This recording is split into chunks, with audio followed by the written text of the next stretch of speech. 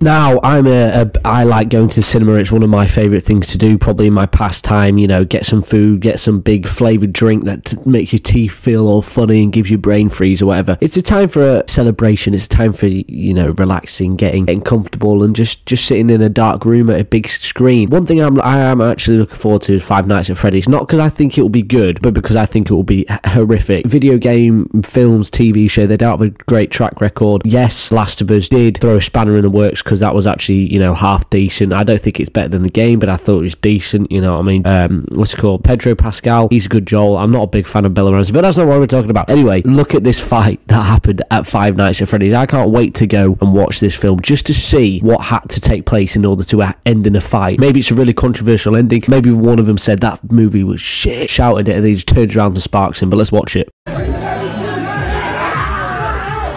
feel so bad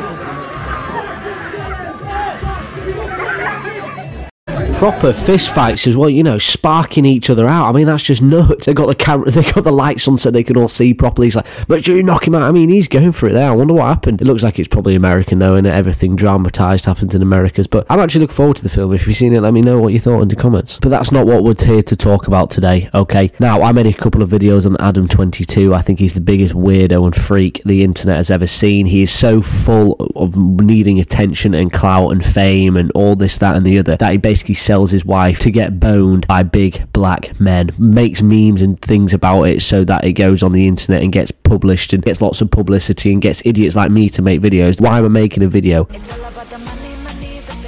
If you like watching and filming your wife get banged by six black PPs, that's cool, man. But don't fucking make it into a big sort of proud. He's clearly really happy and oh look at me, I like my wife getting boned and I like all the clout, I like all the fame, I like all the hate. It's just a sad, sad freak of nature that unfortunately his dad should have, you know, he should have wasted his ball sack children on a bloody tissue or something because this is a waste of human genes. Now we're going to play the video. It's only short, then we'll discuss what is going on. There's a lot here to be excited about. I think this could be very positive for our society and economy. There's a lot here to be excited about. I think this could be very positive for our society and economy. There's nothing positive about it, really. It's actually quite embarrassing. I mean, she stood there, sat there smiling like a little fucking twinkle. You got five very large black men staring like they're about to. Looks like they're all about to, you know, R.A.P.E. her. It looks kind of dodgy. Now, this guy, Adam22, if you don't know, he filmed a video. Well, he filmed actually a video of Jason and her. Jason, uh, I don't know his last name, but he was like a porn star bloke. You'd recognize him. He's fucking everywhere. You know what I mean? And he basically filmed it. He got a load of crap, well deserved, and loads of hate online because of this absolute nonsense, this facade that he puts up that he's happy with it. It's such a weird premise. Personally, I think marriage. Now, call, call me old fashioned, boys. Call, call me weird. I know. Bloody hell, Nazi in the corner over here.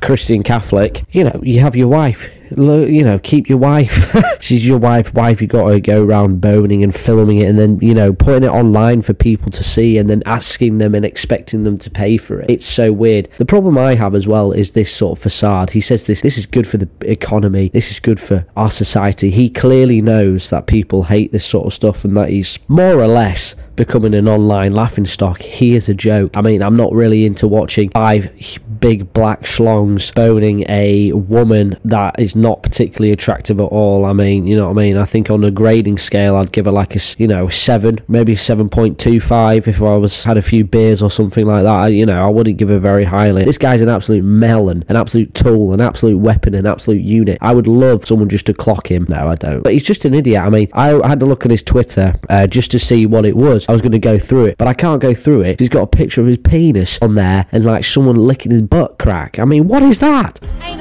Why do people need to see that online? He is an absolute joker, an absolute waste of oxygen. I honestly, truly believe, though, that this is all for clout, all for money, all for fame, and that he needs to seriously sort out his life. I don't understand what is the promise, the premise of doing this sort of behaviour and this sort of stuff. Because he's an American YouTuber, basically, and does this OnlyFans stuff as well, Lena the Plug. I mean, just look at that. You know, you got to pay for it as well. Who's paying for this sort of nonsense? Who in their right mind pays for this shit? It's truly absurd. If you pay for this, I want you just to like seriously have a look at yourself. So the men have been identified as con- adult content: John Legendary, Jay Hefner, Crip Mac, They Hate Lil D, and Thugger. So they are all basically porn stars. So he, he posted a selfie as well, like of that guy. Like, look at that. Fucking hell, you got to be some sad, money hungry freak to do that, mustn't you? You know, film your wife getting boned by five men and then put, you know, give it to people to pay for. Like, why would you do this? What in the right mind makes you think, yeah, this is a good idea. I'll film this and put this on the internet, make people pay and spend a lot of money. I mean, look at these guys. They're looking her up and down like she's a fucking tart. You know what I mean, though? It's absolutely bananas and absolutely crazy. I mean, this was two, three months ago. I made the other videos and he's just back at it again. Back in it again with the white bands. Back in it again with the white bands. I mean, they're just both. Yes, this guy, what's he called? Oh, just Jason, 38.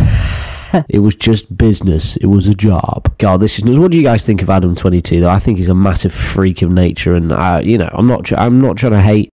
You do you, boo boo. If you want to, you know, film your wife getting bone bone choned in fucking while she moans. I mean, you know, if you don't mind that, that's completely fine. I'm not, you know, not here to hate, but I think I just don't like this facade of that he, he, he makes up and turns it into sort of like a spectacle and a big drama piece and tries just to make, you know, as much money uh, from basically selling his wife and himself for OnlyFans. I think it's pathetic, but, you know, I've fallen for his trap again. I made another video. That's all he wants is just attention, clicks, views, people to know his face, recognize him, that sort of thing, and it works. I fall for his trap, whatever. Fuck you, Adam, you fucking prick.